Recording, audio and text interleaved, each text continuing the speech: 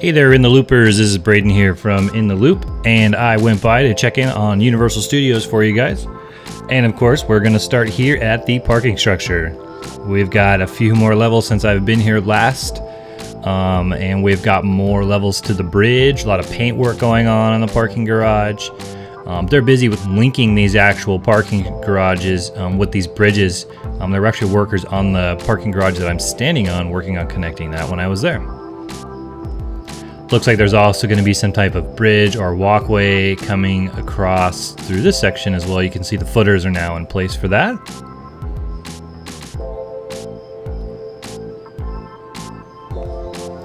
You can see the wait times here was uh, on a when when was I there? Wednesday? Yeah, I was here on a Wednesday. Not bad, but the lines were a little longer for a late August day. Looking here at that mystery construction, which a lot of people are rumoring to be stuff. You got to look it up online. I don't want to say, don't want to spread any rumors, but lots of detail going on in here. A lot of foam work. Um, you can kind of see, you can see through the sheeting in person a lot better, but you can see there's like windows in the back. Um, you can see there's like little windows up here, so they're really going to pull that theme um, from the British section over to the right here into this area. Uh, I was walking by and the Fast and the Furious dancers. I'm not quite sure what they were called, but this was going on here in the middle pavilion.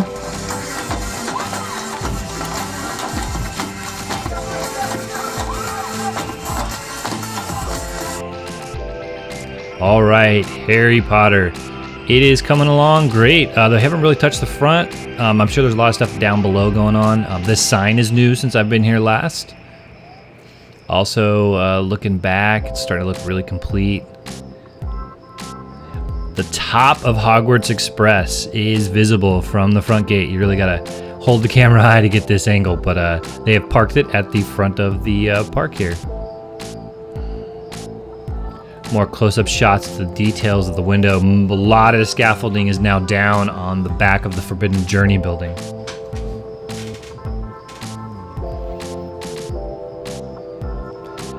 Standing over by the tour looking over at it. It's looking awesome. A lot of scaffolding down off the rock and off the building up top. It's really coming along. I would estimate to have all this scaffolding off in the next couple months. Um, and then they're going to start working on everything uh, down below and inside and finishing up the details over the next year. Okay, so this is uh, back over by uh, Disco Stews. It looks like there will be a pathway that will connect uh, Harry Potter with the tour area, allowing with uh, traffic control. And uh, in front of the uh, new Harry Potter store, they have this car from the movie parked over here. I couldn't remember whose car this was in the movie. Not a big Harry Potter fan, but I have seen the movies. Um, so if you guys know what this is, comment below and let us know whose car this was in the movie. Okay, walking over to the French area by the sandwich shop. This has all been um, fenced up as they're working on theming this area, which is one of their scare zones. Um, and in between this palace and the other uh, Mel's Diner, I believe this is going to be the Halloween maze that's being installed in here in this gap. Um, and I was able to peek through the fence and look inside. Is there anything you guys see in there? I just see walls and some plasterwork. Um, but yeah, should be pretty good. Um, there was some markings on these windows. I don't think they mean anything, but uh, all right. And uh, another maze construction over next to the mummy. They've got a full maze. All the walls are up, and they've got this kind of uh, roofing over the top to shade it.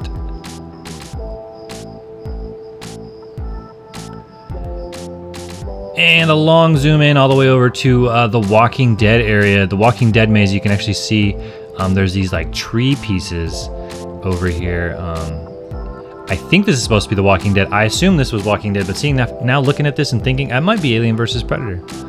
Okay, so rumored to close. Uh, the NBC Universal experience is closing. I'm pretty bummed about this because I usually pop in here and seeing if anything's been added or changed. It's awesome. I mean, that is the DeLorean that they used as the hero car in all of the Back to the Future movies. Um, really bummed. I mean, these cool old retro tour guide patches.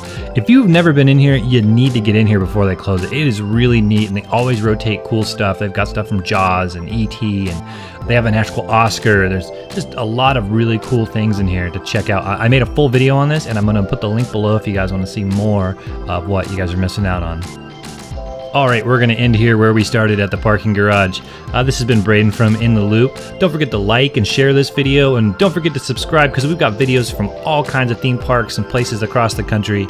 Uh, we've got cool exclusive looks behind the scenes and even some real silly stuff. So hope to see you guys in the next video.